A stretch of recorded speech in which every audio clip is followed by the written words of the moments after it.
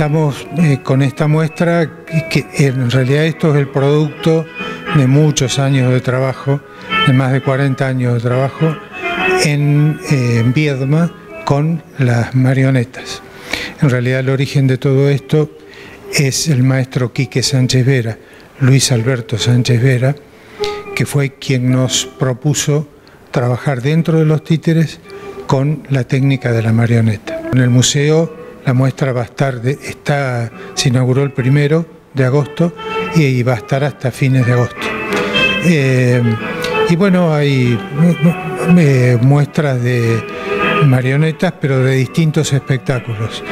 De marionetango, que es un espectáculo exclusivamente de tango, otro texto que es Estampas de Don Quijote, cuyo autor es Quique Sánchez Vera, eh, El Caballero de la Mano de Fuego, cuyo autor es Javier Villafañe, y Glup, que es un, relato, un relato corto de Quique, que está adaptado para, es un cuento, que está adaptado a marionetas. ¿Qué hora puede visitar la gente la muestra? Está de mañana y de tarde, eh, pero eso más vale chequearlo con la gente del museo, porque esto estamos hablando del Museo Tello de Viedma, eh, pero hay visitas para las escuelas por la mañana y por la tarde. Muchos años de trabajo, ¿no? En, cada uno de estos títeres que están acá, o marionetas, como bien decías.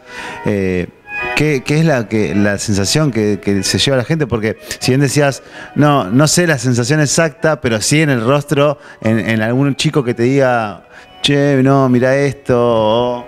Sí, sí, no, bueno, se impactan porque no es común eh, una muestra de este tipo, digamos.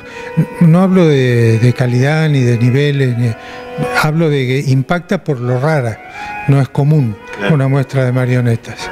Eh, a pesar de que hay museos dedicados a la marioneta en el país y en el extranjero también.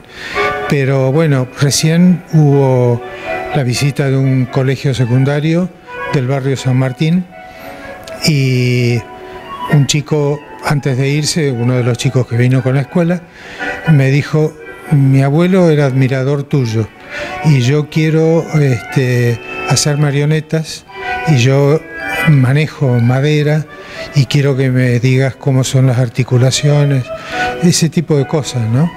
Este, que bueno, que son una maravilla que ocurre. Uno las ve acá eh, ilustradas, puestas en, escena sin, sin, moverse, pero tiene todo un detrás, todo un trabajo muy fino detrás, en cada movimiento, en cada hilo que está tensado ahí, ¿no? Claro, sí, cada marioneta eh, cuelga, está suspendida desde un control o cruceta o comando.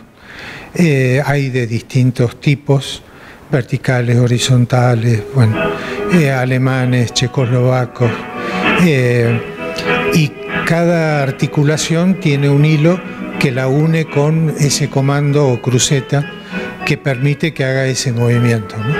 O sea que es complejo técnicamente.